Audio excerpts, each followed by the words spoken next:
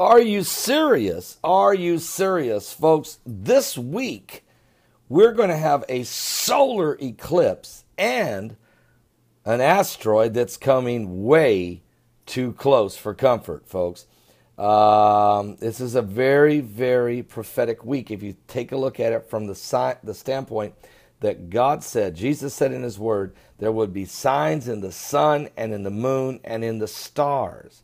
And of course, having a solar eclipse would require the moon to get in between the earth and the sun, a solar eclipse, at the same time that an asteroid, TX 68, is going dangerously by the earth. So, and a cluster of asteroids, we're just ahead of it, very close. So, we are seeing signs in the sun the moon, and the stars. Same. The verse goes on to say, with dis, uh, with uh, distress of nations, with perplexity or confusion, and the sea and the waves roaring, men's hearts failing them for fear of things coming upon the earth, for the powers of heaven shall be shaken. Then shall they see the sign.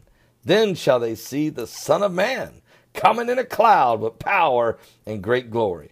And when these things begin to come to pass, he says, Look up, lift up your heads, for your redemption is drawing nigh. Well, this week in astronomy, they're getting uh, we're getting a solar eclipse and this asteroid TX68 that's going to come very close to the Earth. Well, this is the kind of thing that people would even actually make movies out of.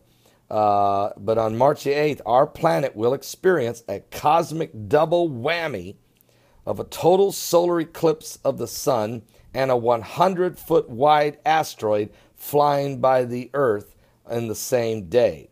This total solar eclipse is the only total eclipse of the sun this year. And now, let me just say this it's our first eclipse since 2015, and this time it is met, folks, uh, as the moon's shadow will travel across the earth late Tuesday evening, March the 8th early Wednesday, March the 9th, scientists at Space explained that the odd timeline is due to an inter, international dateline.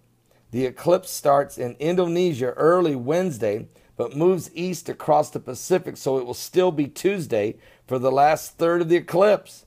It goes back in time. This is a total eclipse of the sun going back in time from Wednesday to Tuesday while an asteroid is flying by the earth so close that you can feel the wind blowing in your hair. Are you serious? Are you seriously serious? So God's got a perfect timing. And when he's doing these things, he's sent, he's putting signs in the heavens for us. Now, so if you um, look, if you're planning on a vacation, or if, excuse me, if you're planning on watching the eclipse in person, remember, never, ever, ever look directly into the sun even though a, through a telescope, uh, if you want to get a telescope, instead you'll need eclipse viewing glasses. All right, protect the retina in your eyes. All right, so don't be blinded by the light. Don't don't do that. Don't do that. Okay.